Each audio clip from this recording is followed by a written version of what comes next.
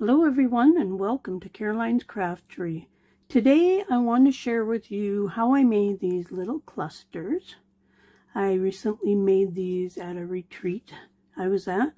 Made a whole bunch of them. I made like 30 or so of them and they turned out really really cute. So let's start very very easy to do. So I have a book page that I glued in half just to give it a little bit of sturdiness. And I'm just going to rip this.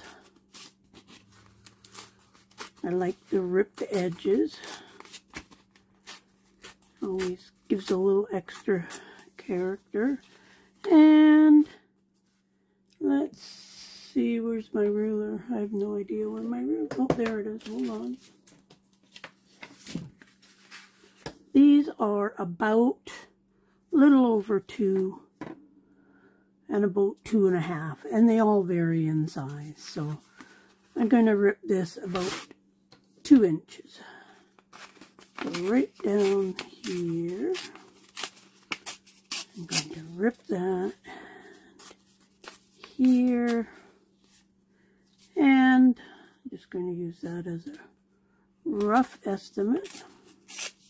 So we've got that piece done. I have a half of a tea bag that I saved from tea. These here came from the Graphics Fairy. Um, I've had them printed out forever and ever. Graphics Fairy, great site. Um, that's where those came from. I have a little piece of file folder. And I have this. Um, don't know where it came from. I have no idea. I used to have a big one too that belonged to my sister. So you just put that in there. You just turn this. And it kind of makes it look like corrugated cardboard. Just enough. You could use a plain piece. You could use a little piece of a box. Um, I've got that, so why not use it? Um, don't even know what they're called. It's a Westcott item, whatever it is. It's Made in China. That's all it says on there. So take a peek. I'm sure there's something else. So you could even use um, a um, embossing folder or something like that there as well. So we got that. Now this I want just a bit longer well, about the same length as that. Now I used this thing here and I scraped up the edges some. I wanted to give it a little more dimension and make it look kind of rough and so I just did that to it. Now I want to ink everything because, well, I like to ink everything.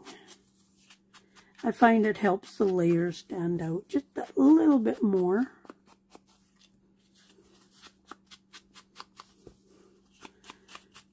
But you don't have to if you don't want to ink. So there's that. There's pretty much all our pieces. So really, all that I'm going to do is layer these up. But I don't want to layer them even. So let's put the tea bag down first. And I'm just kind of putting it off to the side. If it doesn't stick out all over, that's okay. Then we're going to put down the corrugated cardboard. Try not to put glue on the very corners because quite often those corners stick out.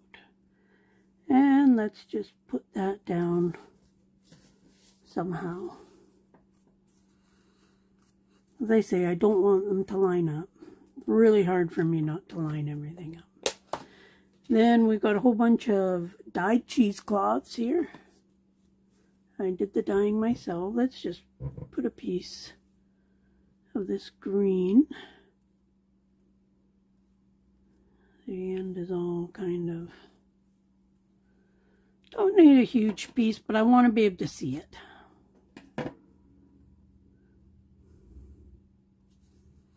That's going to go on. This we didn't ink, so let's quickly ink up there.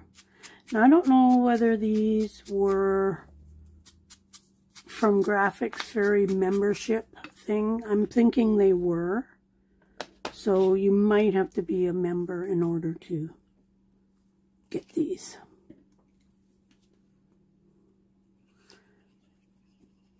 quite a bit of glue because I want it to go all the way through the cheesecloth.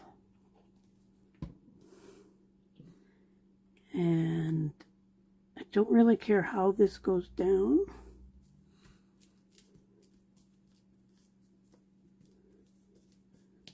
To glue it down a bit.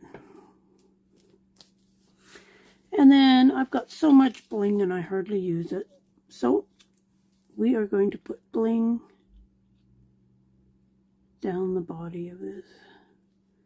Now me and these little things of bling always have a good time. Now the other ones, Used about five of them, although I was using a little bit different bling.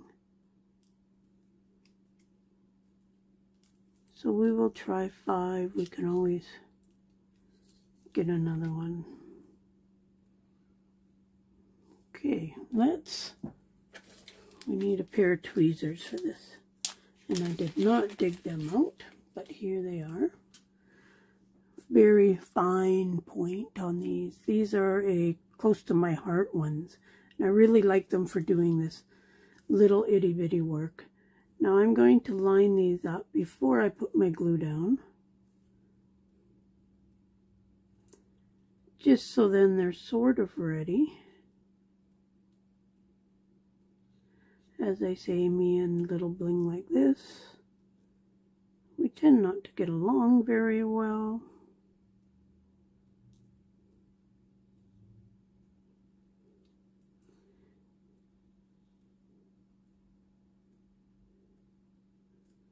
Okay, we are going to need a six one, though I can tell just by lining them up there. So yeah, I just make sure that they're kind of all on the right side there. Now I'll put my glue down and then I'll try and pick them up with the tweezers and set them on the glue. Sometimes I just end up having to push them on. I try really hard not to get too much glue, but this time I managed to get quite a bit on there. And then I'm just going to drop them on there, kind of.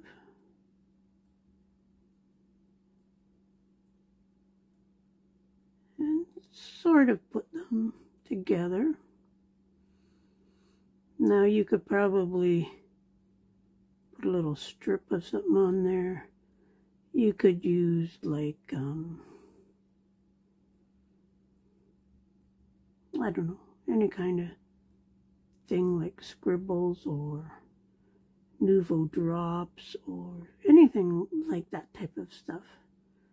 I just choose to use these because I've got them and I don't use them very much.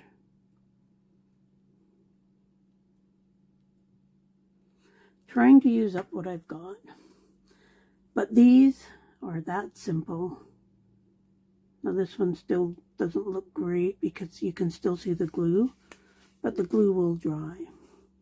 Now my plan is some of these, and a couple of them I did, I stitched around this with a little bit of a metallic thread, which actually looked really good. And I might do that on some of them Probably not all because there is so many of them. And if you follow me, you know I do all my stitching by hand. But they turned out really cute. I like how they turned out. Um, you can put butterflies in just about any journal, which is always nice. But you could use anything in the middle, a square, circle, anything if you're lucky enough and have Graphics Fairy um, you could go and find these little shapes. But, yeah.